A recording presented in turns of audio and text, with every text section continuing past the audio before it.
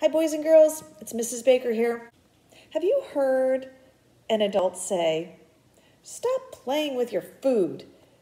Well, all that means is stop dawdling. Don't procrastinate. Hey, it's time to eat. Well, this week we are playing with our food, and we are being inspired by the book Play with Your Food. It was It's written by Joost Elfers. He likes to say that he has happily remained in kindergarten for most of his life. So many things remind us of other things. You know, when you look at clouds and you see a face or a heart or something? So, a long time ago, there was an artist, Giuseppe Arcimboldo, who was born in 1527, who used to paint portraits of people with, you guessed it, food. Vegetables, fruits, and flowers made up these portraits.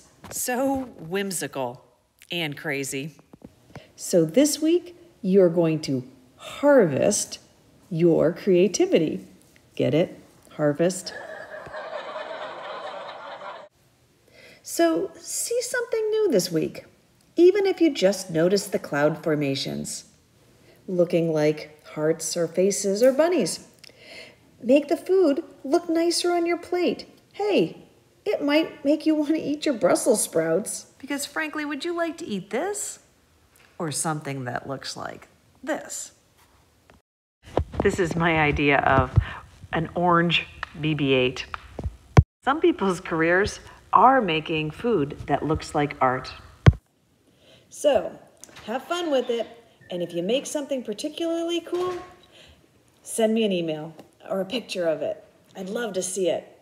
It's fun to see what you've been up to these days.